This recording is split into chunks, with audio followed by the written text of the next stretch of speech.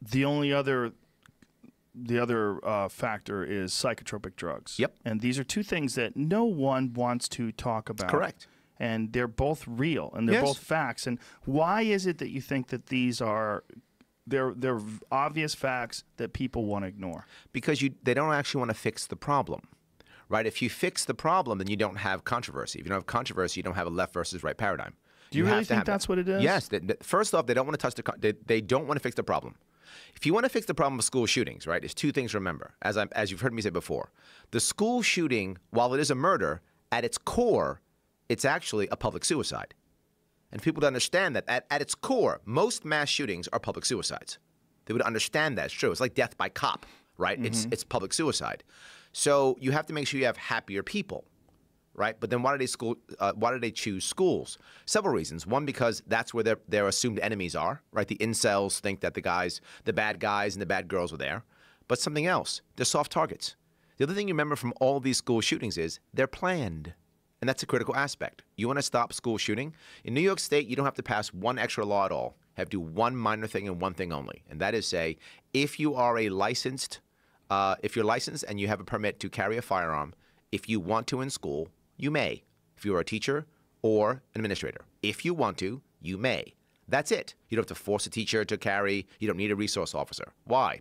Because if you have a resource officer, which is what most Republicans will say, put, put an officer there, they'll just shoot him first. If you are Democrats, no guns. They'll shoot everybody. So if you instead say, well, I don't know who's armed. Is it an administrator? Is it a teacher? Is it everybody? Is it nobody? The planning goes away.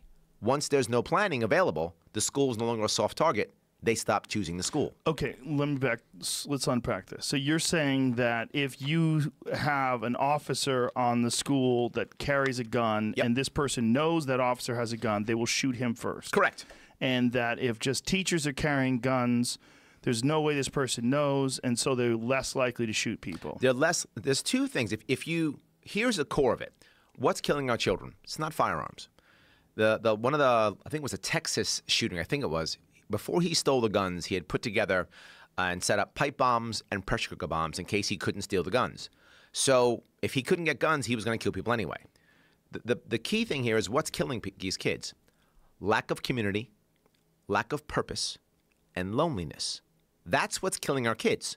Those three things. Take those three things away, kids don't do that. You give a kid who's 16, 17, 18 purpose, he can't go off and kill people. He has something to do. He has a reason to live. Remember, this is a public suicide. If you have a reason to live and you think the right answer is to go do something, you don't kill yourself. If you don't kill yourself, there's no public suicide. Mass shootings all of a sudden are tremendously reduced. It's just how it works. It's human nature. You have to understand that. But if you do that, then there's no extra law. Then there's no one to point a finger at. You can't restrict guns. Uh, see, what I'm saying just I- makes actual sense. this is where you and I break company because I don't agree with that. I don't think that anyone is trying to keep these school shootings in the same state they are now. I think that there's two things. One, no one wants to demonize psychotropic drugs, and especially politicians. They have a really hard time with that. Sure. Because they don't want to tell people who are on psychotropic drugs that they're either suspects or suspicious or potential mass Mm-hmm. Shooters. did- New York State showing you're it's, it's incorrect. I'm, I'm, we made the SAFE Act, and the SAFE Act literally says if you go on these drugs, you lose your firearm. So Mm-hmm. that's absolutely not true in New York State. It may be true in California. I don't know your laws here, but in New York State, the opposite is true. We've we've already done that. We have made our medical personnel part of our secret state police, which means if you go in and say, um, you know, I'm feeling depressed, I need some drugs, I'm thinking about suicide, the state police might come by and take your firearms. That's already happening in New York State. And they now want to create red flag laws, which means a teacher can now do it. So now a teacher says, oh, there's a student who I see drew a firearm, he drew a gun, cops and robbers. Maybe a red flag. Let me go to a judge and see if I can have the cops go and take his father's firearm. I definitely want to talk about this, but I want to bring it back to what you said earlier. You don't think they want to fix the problem. Yeah, it's I not- don't. yeah. I don't think that's true. I just don't think they have a viable solution that they think is politically viable. Perhaps, but I think my solution seems politically viable. People, I, I say, everyone I say this to, they go, oh, wow, you're right. Well, you are definitely right that they're lonely, sad people that are Yes. lashing out, and I think you're definitely right that in many instances it's a public suicide. Yep. And I think you're definitely right that the vast majority of them are on psychotropic drugs, Yep. which do have a disassociative uh, aspect to them where they're not even sure they're aware of what they're doing. This is if you Well, talk to sure people that have true, been though. on those. Yeah. Well, uh, people that have been on these things, things don't mean anything anymore. Like a car accident in front of them doesn't mean anything. Yeah. People have various reactions to various SSRIs and antidepressants, but one thing that happens is you lose the highs and lows, Yeah. and everything is just flat. You become numb. Yes, and you become numb to almost anything that happens. absolutely. It and uh, again, it varies depending upon the individual that's on these things. Sure. Part of that would allow someone to do something horrific, which they wouldn't be able to before.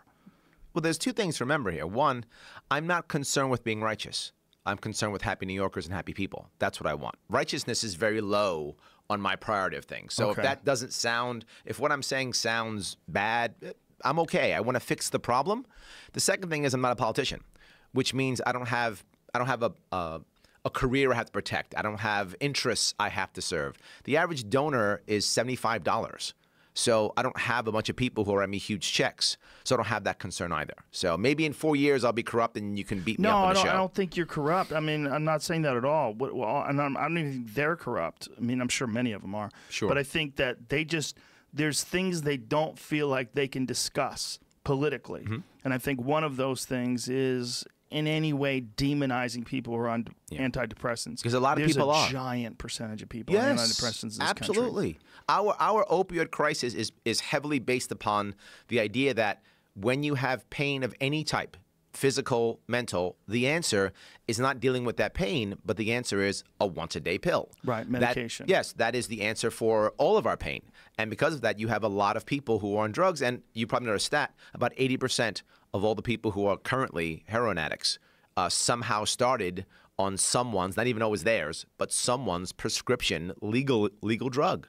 I mean, that was prescribed for either pain medication or something Right. like that. Usually pain medication. Yeah. But other things too. You're totally correct. This is a problem. But what I'm saying is this is what I, I talk about often. People say, Larry, you know, why should I vote for you? Why should I support you? Here's the reason why. Whether you believe I can win or not is actually irrelevant. If you think I can win, awesome, I can win. And to be forward with you, if I win in New York as libertarian, the entire nation changes overnight. And that's not exaggeration. The entire nation changes overnight. This is the most impactful election, hands down, the entire nation 20